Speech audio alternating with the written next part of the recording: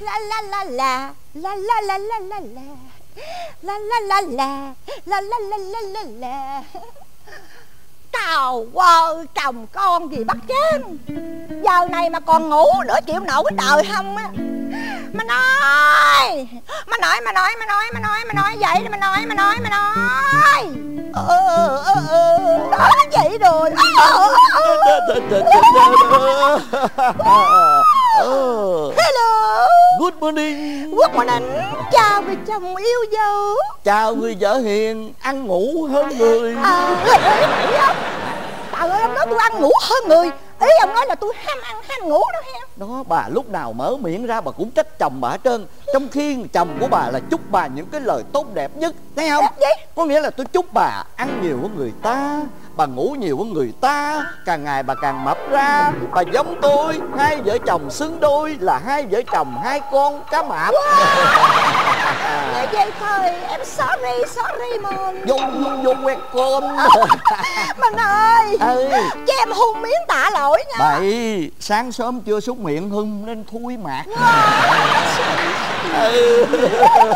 Mình dễ thương quá mình ừ dễ thương lắm. Minh ơi! ơi Sáng nay mình có đi làm không? trời ơi đi chứ không đi đói sao? Không phải. Hả? Ý em nói là mình đi làm đó Mình khỏi ăn sáng ở ngoài đường. Ăn sáng ở nhà hả? Ờ à. Cơm nguội nước mắm Tầm bậy. Muốn ăn mà mình yêu thích nhất món ăn mà tôi yêu thích nhất. Đúng rồi. Bà lo cho tôi. Chứ sao? Bà chuẩn bị cho tôi. Trời ơi bà yêu tôi đến như vậy sao bà? Yêu lắm mình ơi tôi hạnh phúc tôi hạnh phúc quá. Ôi, Em cũng hạnh phúc quá. Bình ơi Bình. Đêm hôm này nè mình Em nằm chim bao mình. Chim bao? Ồ, ôi em thấy một giấc mơ Một giấc mơ tuyệt đẹp. Giấc mơ tuyệt đẹp? Ừ á. Đẹp số mấy? Kìa ạ? Tôi đánh đề. Trời ơi bỏ rồi Đó. Bình Trong giấc mơ đó Em thấy Minh là một bác sĩ pháp y. Tôi là một bác sĩ pháp y. Đúng. Mổ xác chết. Đúng vậy. Vậy chắc ăn. Trước sau nó cũng chết khỏi sợ ở tù. Bảy Đâu có mổ ai đâu ở tù hả? Mình mổ cho em. Mình mổ cho con vợ mình. Mổ cho bà. Đúng. Mình Mình đã mổ thân thể em ra hàng trăm mạnh mổ thân thể bà ra hàng trăm mảnh? Đúng vậy. Vậy là mổ bằng lựu đạn. Lê bảy dao mổ gì nữa? Ui, người ta mổ bằng dao. Dao. Dao sao mổ nổi? Vậy mà ông mổ đủ ông mới hay kêu Ông biết không? Hả? Ông cầm cái dao. Ông mổ rét rét rét rét rét rét ồ như võ hiệp vậy Đúng đúng đúng đúng ừ. đừng chụp Ông mổ đến giữa trung tâm cơ thể của tôi mổ tới giữa trung tâm cơ thể của bà chỗ nào trái tim Đúng biết không Lúc đó tự nhiên Tim em không có máu nữa mình không có máu chảy Không ra có một miếng máu nào chảy ra hết Mà nó tuôn ra toàn là chữ không tuôn ra toàn là chữ. Mình ơi mình biết chữ gì không? Biết. Chữ gì? Tiền lương đâu tiền lương đâu. Ông, ông, ông giống quỷ quá. Quý gì? Giấc mơ đẹp.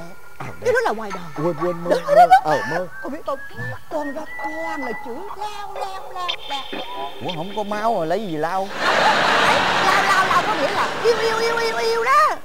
Yêu yêu yêu yêu yêu. Đúng trời ơi bà ơi tới giờ phút cuối cùng trong cuộc đời bà bà vẫn yêu tôi đến mức độ vậy sao? Yêu đi hơi thở cuối cùng mình hạnh ơi. phúc quá sung sướng quá. Em cũng vậy tôi với bà giống nhau. Giống sao? Hồi tối này tôi cũng nằm chim bao thấy bà. Giống sao? Tôi thấy bà là một phụ nữ thời trang trong một bộ quần áo vô cùng tuyệt đẹp.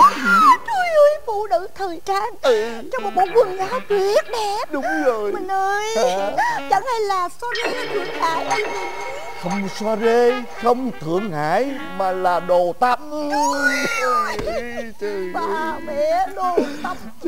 Mình ơi mình tưởng tượng đi. Ừ. Mình tưởng tượng đi con vợ già của mình Mình nó chơi bộ đồ tắm vô thì ai yêu nổi. Kiểu gì nổi? Đây Chẳng hay Ừ. Hai mảnh hay một mảnh gì mình. Gì hai mảnh một mảnh? Đồ tắm. Tắm heo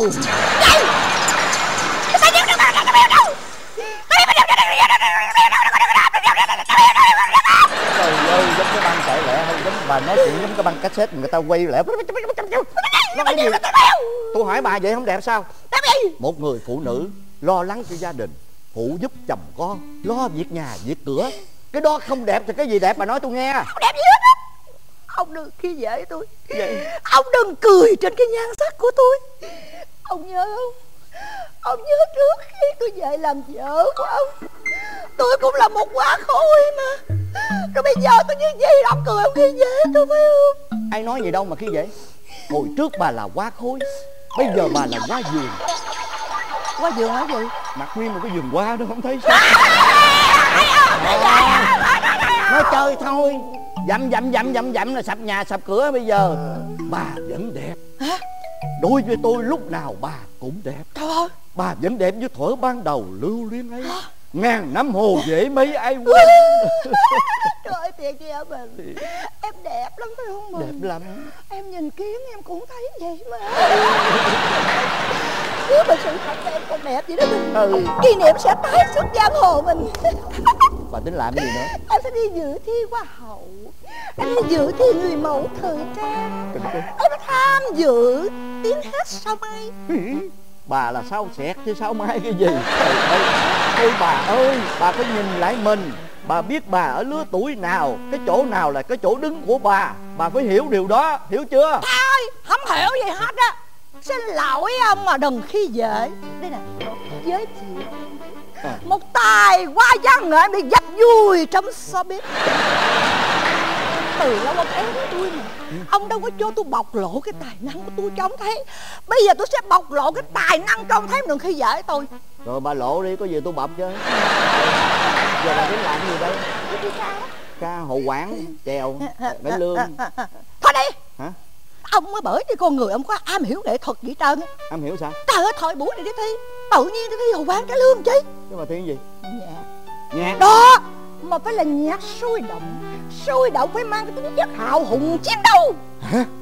Trời ơi bà biết nhạc chiến đấu nữa hả? Chứ sao? Bà biết nhạc hào hùng nữa phải hả? vậy mới có ý nghĩa. Trời ơi sao bà giỏi quá vậy? Phải vậy thôi. Bất ngờ với bà bà ơi. Đó. Hào hùng chiến đấu bà ca thử tôi nghe. Ca nè ừ. bây giờ nếu một hai ba đi tôi vô tôi chơi liền cho ông coi hai ba bà vô nha. Đây. Hai ba. Yo! Hai con thằng lằn con. Cho thằng lằn buồn khi quả gọi con đến là mắng cho. Hai con thằng lằn con cái đuôi thì sinh nay đã đứt rồi Ôi đứa đau tươi bởi cái thằng lằn con gốc la ôm xôm Hai ba bốn năm. Ba con thằng lằn con của dạ Làm gì vậy Bà tính đem nguyên một cái bầy thằng lằn vô nhà tôi phải không? Thiếu nhi nó ca chơi vui với nhau. Bà nói là hào hùng chiến đấu chỗ nào? Hả? không chiến đấu à chứ là chỗ nào? Nghe kỹ đi. Ừ. hai con thằng lằn con rượt nhau cắn nhau đứt đuôi rượt nhau nó cắn nhau đứt đuôi. Nó đập đầu nó chảy máu vậy mà không chiến đấu. Còn cái gì nó mới chiến đấu? Cái gì nữa à tôi lại bà bà ơi tôi đã nói rồi. Bà phải nhìn lại cái lứa tuổi của bà. Bà lớn rồi bà phải nhìn lại cái chỗ đứng của bà bà phải biết bà như thế nào. Cứ bà có muốn làm những cái điều mà nó, nó quái gở vậy không à bà trở thành quái dị bà hiểu chưa? Còn nếu tôi nói bà có nhất định bà cãi phải không? Bà không nghe lời tôi phải không? không. Tôi để nhà này cho bà ở tôi đi. Rồi bà tự do bà muốn làm cái gì bà làm tôi đi. Bà mình đi mình bỏ em rồi ai vớt em đi bây giờ bà mới đàng hoàng bà hiểu chưa? Bỏ hết những cái suy nghĩ đó thấy không? Lo việc nhà việc cửa lo chồng lo con hiểu chưa? rồi do xin lỗi nha nè hồi nãy nói Thôi. gì uh, cho tôi ăn cái gì ngon gì đó là sao?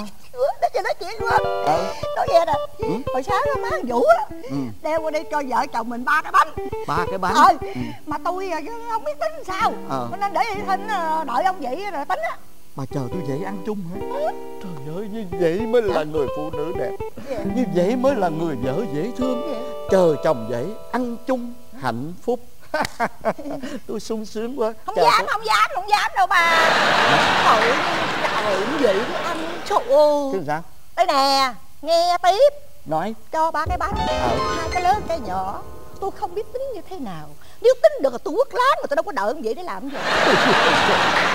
Mày trong đầu nó được không sao tới quất vậy mà tôi cũng sống được. Cuộc đời tôi là vậy được. Không biết chia làm sao phải không? Không không biết tính sao phải không? Không. Chi vậy suy nghĩ chi cho nó bạc đầu biết sao tôi tính một cái gọn cho bà thôi. Tính sao? Hai cái lớn một cái nhỏ phải không? ừ ừ ừ. Cái này tính gọn ha. À sao sao? Bà một cái nhỏ tôi hai cái lớn. Xong. Em là phụ nữ mà.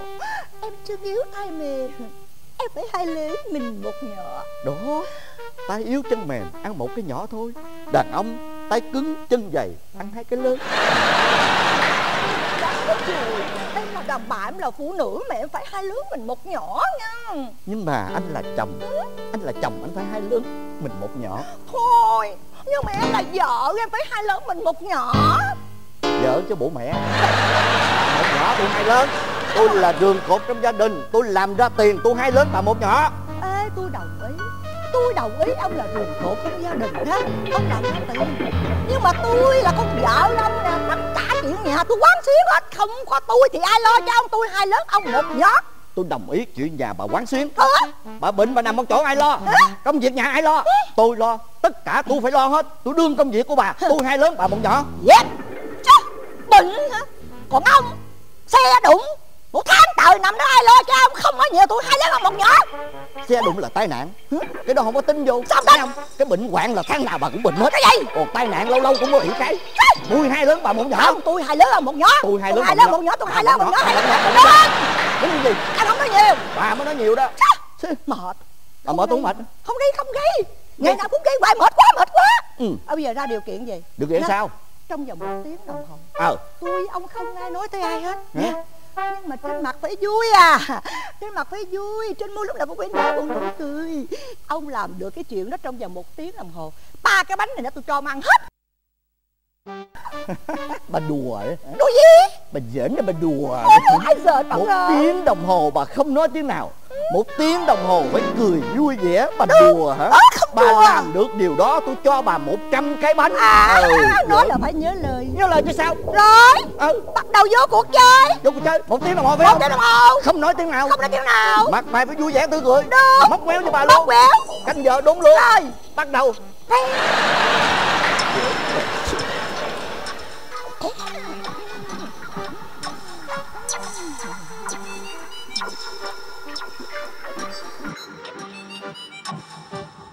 bác hai trai bác hai gái ơi. Dạ bác hai trai bác hai gái. À, dạ con chào bác hai trai. Dạ con chào bác hai gái. Dạ thưa bác hai trai bác hai gái à, sẵn dịp con ở đây là có lý do là tại vì á má con á là muốn mời bác gái qua đi chợ với má con cho vui. Ý bác gái làm sao? Hỏi ý kiến bác trai hả? Bác trai ơi à, bác gái xin phép bác trai được đi chợ với má con. Hỏi bác gái này đi phải không? Dạ. Bác gái ơi à, bác trai nói là hỏi ý kiến tùy bác là hỏi bác trai đi. Dạ. Bác trai ơi bác trai thấy sao? Dạ là bắt gái hai người giống quỷ vậy? Gì kỳ á thôi con biết rồi. Điều này là coi như hai bác đang giận nhau chắc luôn nè. Bác gái ghen đúng không? Sao bác già bác hay ghen quá à? bác trai lỡ lấy con lũnh nó có bầu thôi chứ làm gì đâu mà giữ vậy bác. Nghe cái gì? Chồng mình có vợ bé là phải nghĩ lý do là tại mình cái đã tại mình nhan sắc mình nó tàn úa rồi. Bác nhìn lại cái nhan sắc của bác đi.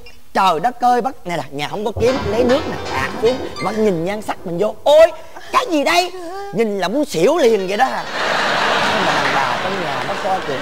Giết gà rồi lấy lông gà quết màu lên gắn lên đầu mình với ớn không? Y nữ hoàng leo cờ bát không?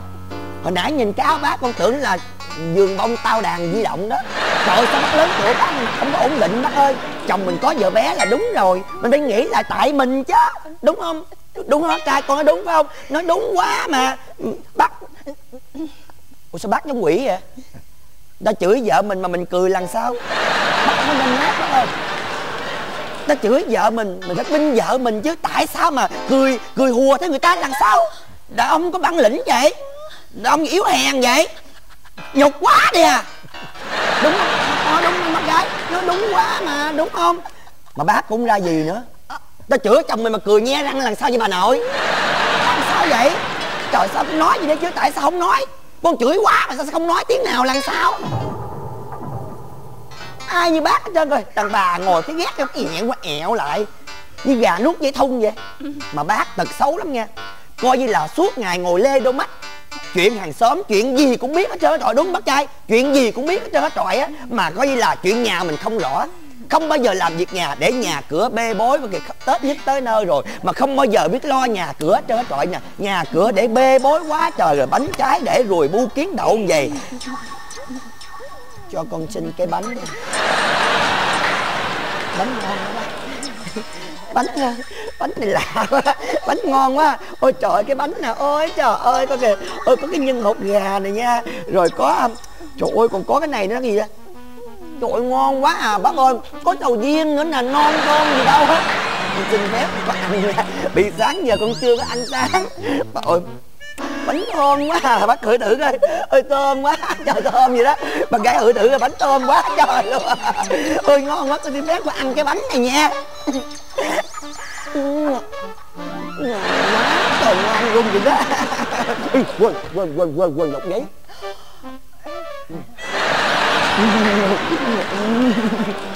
ngon quá à sao lớn tuổi giờ miệng kỳ vậy bỏ đó không ăn nó ăn ở giờ miệng tính xong nó bỏ tính đó nha ngon quá trời gì chớp miệng theo giờ miệng vậy? Bác cũng kỳ quá bỏ không ăn người ta ăn cái giờ miệng xấu nết quá trời quả đất à. Ừ, rót nước cho con sẵn luôn hả? Cảm ơn nha.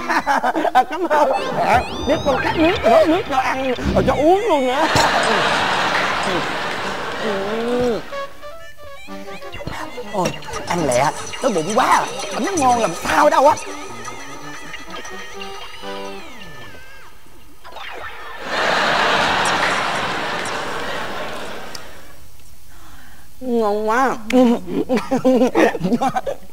cảm ơn nhà rót nước cho con cảm ơn. Nha à, bác dễ thương quá à. sau này con đi từ cái bất ngờ này tới bất ngờ nọ lo cho con thương con quá đi à. Ừ. À. tình ơi ăn cái bánh nó ngon làm sao đâu á. Cho con xin luôn cái nữa nha để người vô kín đậu uổng. Bánh ngon. Sao ạ? à? à quỳ lại năn nỉ ăn giùm đi con phải không? Cảm ơn bác trai. Trời sao hai bác dễ thương quá đi à. Anh thỉnh cái nữa nha. Ơi ngon quá bác bác giờ miệng hoài tính xấu quá à. ăn luôn cái nữa nha. Ừ, ừ, ừ, ừ. tính ngon quá trời ừ, trời cái nhà con nhỏ trời coi có nhìn nhân mứt nữa nè. Ôi có sầu riêng có hộp gà nữa. Ôi nó ngon lắm. Ừ,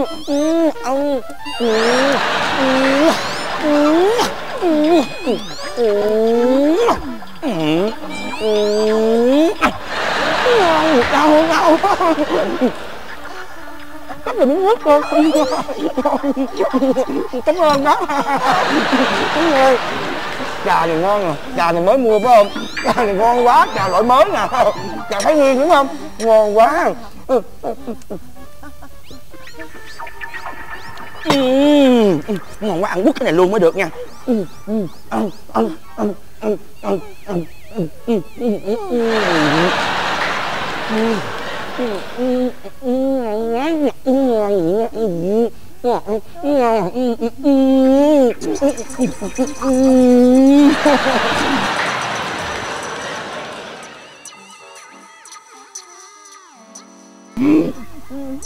Ừ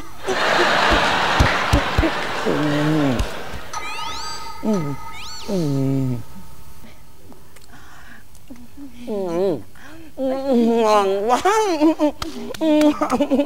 Ôi, ăn bánh mà được uống nước trà nữa thì sung sướng gì bằng.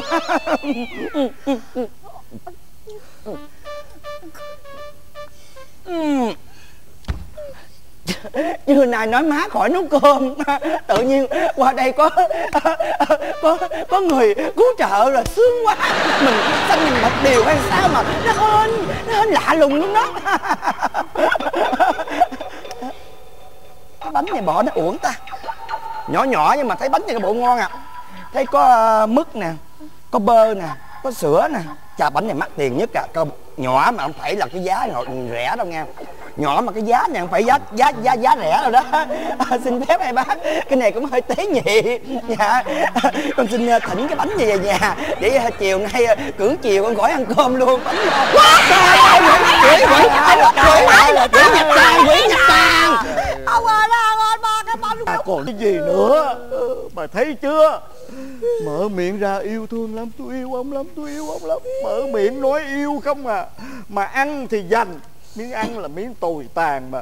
Trong nhà dành nhau ở ngoài nó vô nó ăn hết bà thấy tôi chưa? biết rồi tôi biết cái lỗi tôi tôi có lỗi ông cũng có lỗi vậy. Dạ thưa bác gái thưa À. bác trai. Gì nữa mày? Đâu á? Còn cái gì nữa mà mày vô hả? làm gì nữa đây? Dạ hết rồi. Hết rồi vô chứ dạ có vấn đề.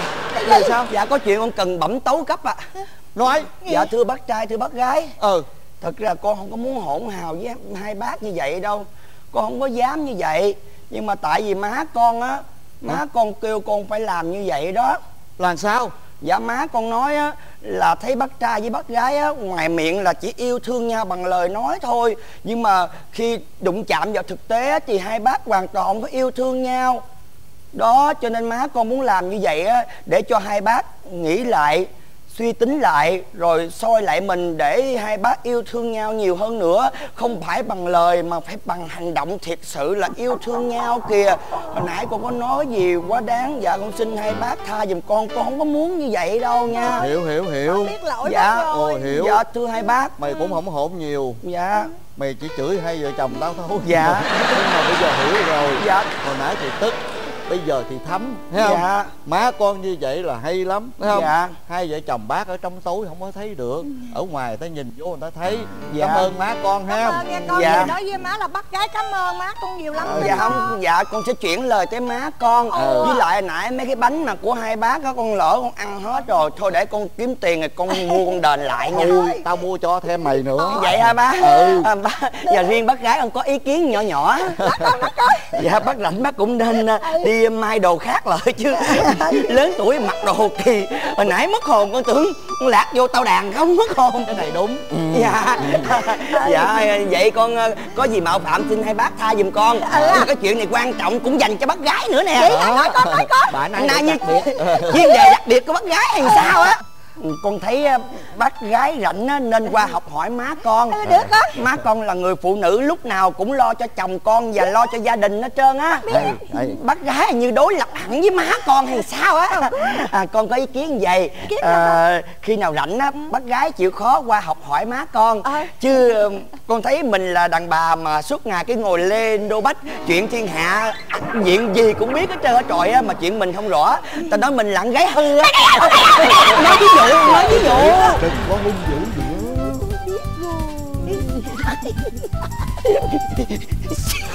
đó